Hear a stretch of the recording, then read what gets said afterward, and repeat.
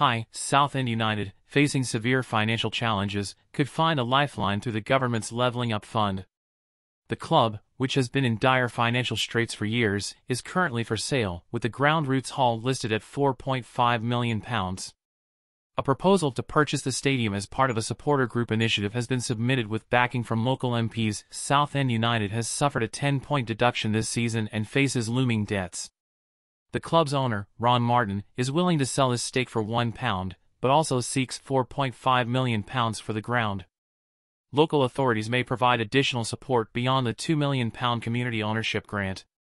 Thanks for watching, subscribe to my channel for more updates. Bye.